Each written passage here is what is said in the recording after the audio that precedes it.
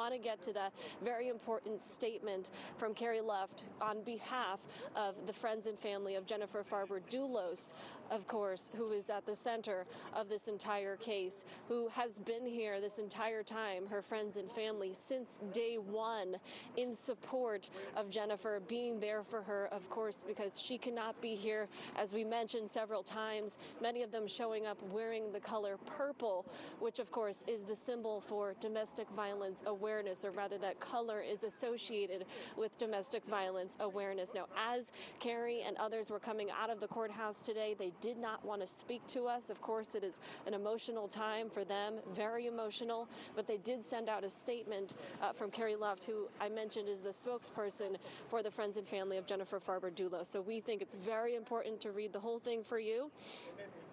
Here it is. She says, quote, Today's verdict is a crucial attribution of accountability, not a victory. There can be no victory when five children are growing up without their mother.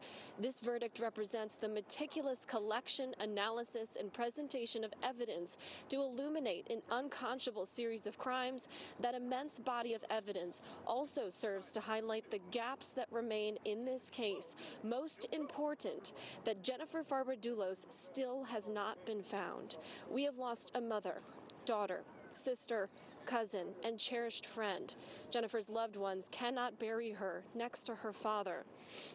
We want to thank the jury, she says, for their commitment and careful deliberation during this lengthy, complex trial, and Judge Kevin Randolph for his guidance and authority in the courtroom. She says we remain deeply indebted to the state's attorney's office, in particular, prosecutors Michelle Manning and Sean McGuinness, Assistant State's Attorney Elizabeth Moran, and Case Inspector David Edwards for their tireless work, expertise, endurance, and dedication in the courtroom and out. She says we express our unending gratitude and respect to the investigators, analysts, and other law enforcement personnel who have shown an unflagging commitment to Jennifer's case over a span of nearly five years. We owe a special debt of thanks to those individuals, law enforcement and civilian, who testified at this trial and in its hearings. Your courage and integrity inspire us.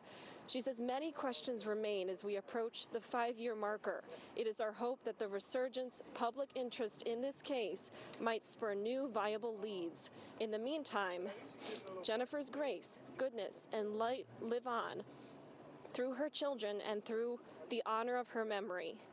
She says, We ask that you respect Jennifer's memory and the privacy of her family and loved ones at this time. Now, again, that is the full statement that we did receive after the verdict from Carrie Luft, who has been the spokesperson for the friends and family of Jennifer Farber Dulos from the very